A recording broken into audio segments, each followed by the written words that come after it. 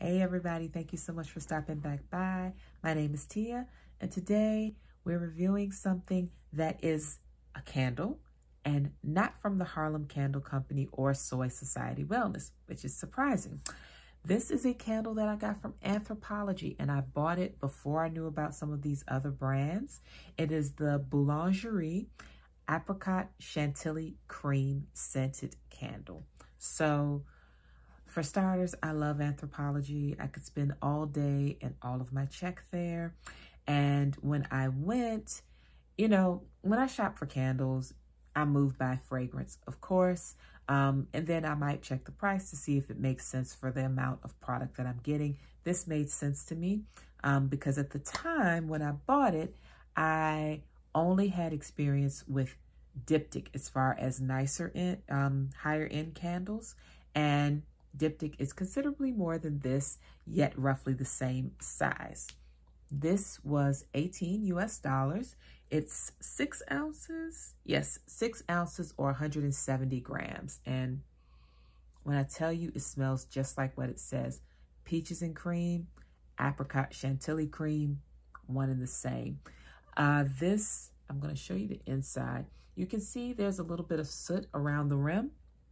Well, that's because it this edge that this top snaps on with, this edge actually captures the soot. So instead of it perhaps getting on your wall, this prevents some of that ash from leaving the container. So that's really neat. I love the scent. It smells amazing in the container. Very delicious, very yummy. Clearly a gourmand scent, but it is also along with it smelling really great cold. It smells amazing when you burn it. So this one is really nice for like your guest rooms or your guest bathrooms or your, you know, your rest restroom that everyone uses perhaps right by the door. That one, it's great for scenting those spaces because it's not your priciest scent, but it's still a really good investment that absolutely will smell up a small space or even a larger space pretty easily. I've used it in my bedroom and absolutely the scent travels. It's just a really nice fragrance. What I saw when I looked up information about it, I typed in the scent name and of course the brand Anthropologie and there are two things. One, this obviously used to have like a line of products with this scent because I saw on eBay somebody was selling like the body wash and lotion and I'm like, they should really bring that back to Anthropologie. I didn't see it on their website when I looked, but they should really consider bringing that back. And also, this is just one of several of those gourmand scents. They had um, angel food cake and they had a couple others, which I didn't smell in store. This was the only one that I saw that day that I shopped. And I'm sure there were other scents, but this is the only one that I saw, remembered, and felt compelled to purchase. So I love the lid. It fits it very snugly. And this smells, like I said, incredible. What I love too is once you're done with this candle, this is a beautiful container that you could absolutely use in any kind of French themed decor because look at the detailing on it. And of course, the word boulangerie is French. So you've got that gorgeous detailing.